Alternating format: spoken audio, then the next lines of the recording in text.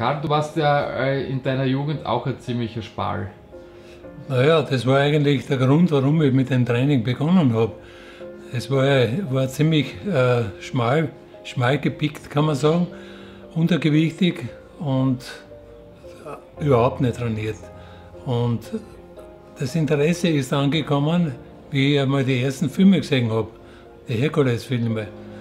Und da haben wir totaler Bewunderer von dem, haben gedacht, sowas, das kann nicht echt sein. Und dann, in weiterer Folge, habe ich dann die ersten Athleten in Graz herum gesehen.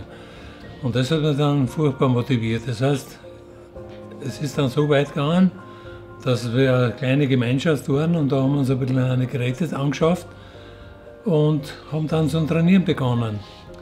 Und ich kann ja jedem raten, das heißt, wenn er mit dem Training beginnt, dann nicht die äh, Erwartungen sehr hochschraubt, sondern einmal ein ausgewogenes Training probiert einmal und einmal mit den Gewichten umzugehen lernen. Wichtig ist, dass man dann eine gute Anleitung hat, einen Trainer hat, der die Übungen sagt, dass man das auch richtig macht.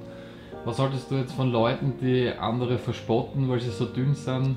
Es gibt ja Leute, die sich da unheimlich schwer tun, die Probleme haben, äh, Gewicht zuzulegen. Und da muss man eben geduldig sein. Das heißt, man muss ihnen auch die Gelegenheit geben, dass er sich von der Ernährungsseite her, dass er da die Ernährung umstellt, dass er sich gut ernährt, dann wird schon kommen. Das heißt, besser ist es, langsam zuzulegen, zuzunehmen, als schnell zuzulegen. Das heißt, äh, die Ernährung spielt eine größere Rolle dabei nicht irgendeinen äh, Schmarrn reinhauen oder Junkfood, damit dass man Gewicht zulegt, sondern schaut eher auf Qualität, langsam zunehmen und ziemlich eine fettfreie Masse aufbauen. Für die Leute, die sich nicht unbedingt in ein Fitnesscenter trauen, gibt es auch die Gelegenheit, dass man ein Heimtraining startet.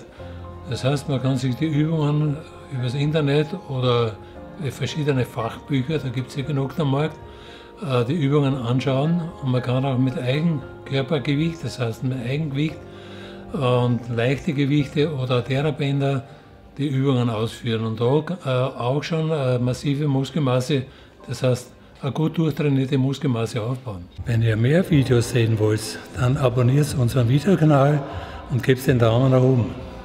Holt ihr jetzt unser E-Book Gold School Bodybuilding. Alter ist nur eine Zahl.